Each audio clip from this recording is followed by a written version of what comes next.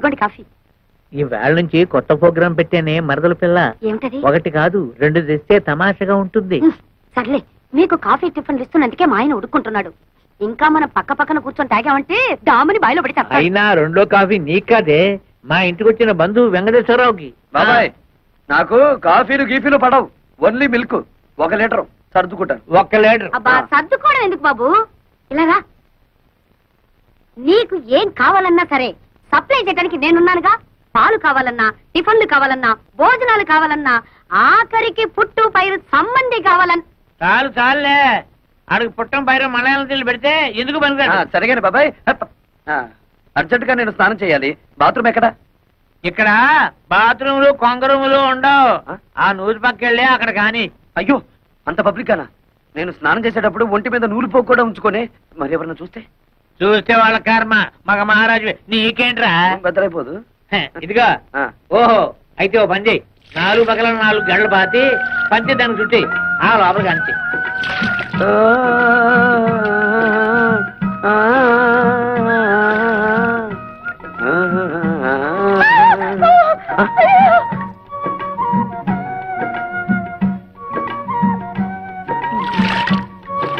ఏంటమ్మా చూడు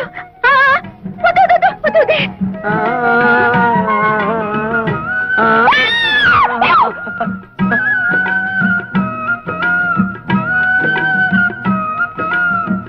అయ్యో అయ్యో ఏమిటి శోభ? ఏమైంది? నేను సరిగ్గా చూడలేదు. నువ్వు వెళ్ళి చూడు. చూడు.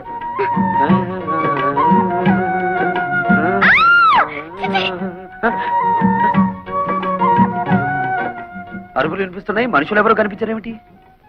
పొద్దున్నే లేచి ఎవరి ముఖం చూశానో ఏమిటో. చుట్టుపక్కల సంసారాలు ఉంటారన్న జ్ఞానం కూడా లేదు. ఇప్పుడు నేను ఏం చేశానని? మనిషి జన్మ ఎత్తగానే సరిపోదు. మనిషిగా బ్రతకడం కూడా నేర్చుకోవాలి. మరి మీ వంశంలో ఏడిస్తే కదా? చచ్చా! ఏమైంది? ఎప్పుడు ఈవిడికి మా వాళ్ళ మీద పడి ఏడవడం తప్ప మరో పని లేదు. అదెల్లే సార్ అమ్మే! నువ్వు నోరు పోయి. సంత. ఎవరికో ఒకరికి కోట ఇవ్వంటే అమ్మగారికి దినం గడవదు. ఇవాళ ఆ కోట అయ్యగారిది. నాన్ బతికిపోయినాను.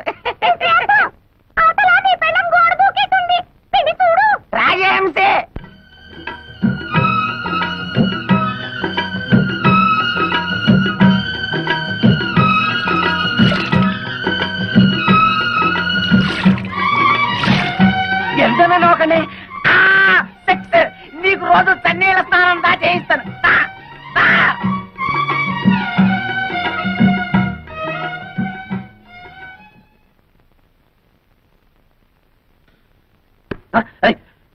ఎవరిదే ఇది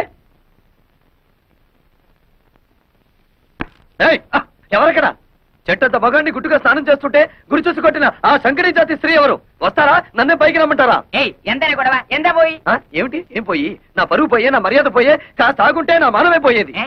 మానం పోయేది ఆడవాళ్ళకి దానే ఇదిగో తొందరగా మీ అమ్మగారిని పిలవకపోతే నీ ప్రాణం పోతుంది. అమ్మే! బాబాబు మీకు దండం పెడతాను. దొరక్క దొరక్క దొరికిన రెండో తల్లి కూడా పుట్టకని తెంచేయబాకండి ఆహా. దయచేసి ఆయన వదిలిపెట్టండి బాబు. ఒరే నువ్వు వచ్చిన పని ఏమిటి ఈ జాతర ఏమిటిరా?